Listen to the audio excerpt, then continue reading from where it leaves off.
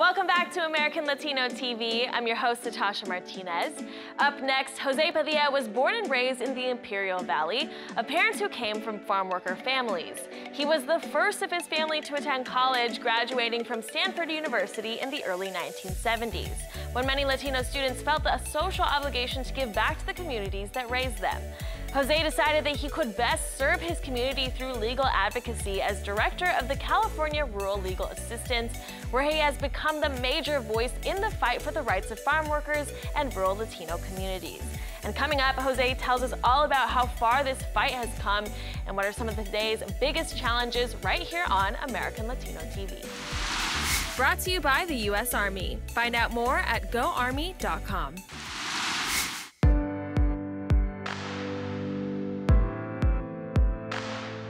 Jose Padilla, I'm the Executive Director of California Rural Legal Assistance.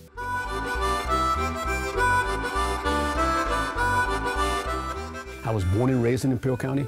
Uh, I was raised by migrant farm worker grandparents, both sides of my family. My father was a migrant farm worker. But growing up in those communities, you understand what it is to be the poor family in that community. These were small towns divided by a railroad track.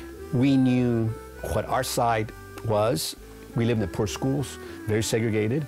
And then you go to the, the west side and you know, there you have the growers with homes that are half a block long. And so when you grow up in those communities, you understand the inequality produced by poverty. And so I was blessed to be able to go to some good universities. Uh, Stanford is one, um, Berkeley Law School is another. And then you make decisions that allow you to get into a place where you can help. And that's the trajectory that led me to become a lawyer for rural poor people and also then ultimately to, to run this organization that's uh, recognized as one of the better legal aids in the United States.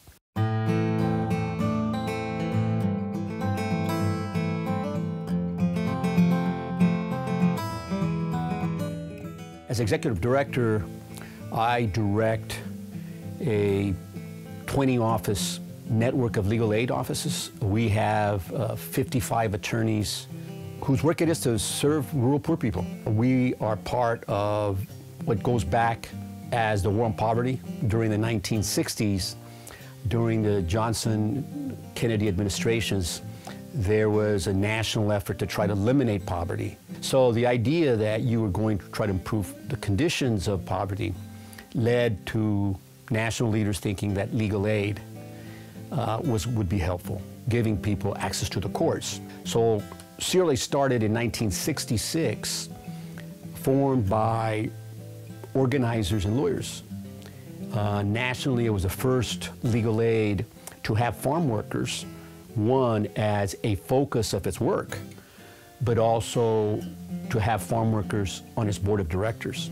Names like Cesar Chavez, Dolores Huerta, of the time, the first great boycott was brought by Filipino organizers. And one of the leaders was a man by the name of Larry Itliong, who's also on our board of directors. And the other one was Cruz the first Latino on the California Supreme Court. But at the end of the day, really it was to give farm workers access to the legal system and other rural poor people access to the legal system of this country.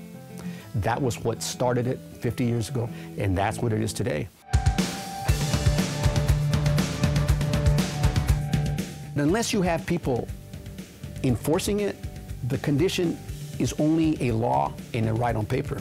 So for example, right now, we, as we speak, my workers are out in the fields checking to make sure that there's water, that there are bathrooms for the workers, because those laws are there to create healthy environments for people picking the food that we eat every single day.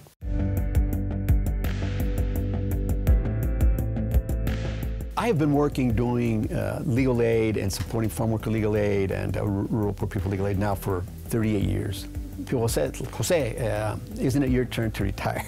and I tell my friends, um, it's very difficult to retire from something that was never a job. It really was a purpose. It is something you do not retire from. I'm going to continue working and continue to make that same contribution I've been making for the last number of years. And uh, somebody else can retire me from justice because um, I'm not ready yet.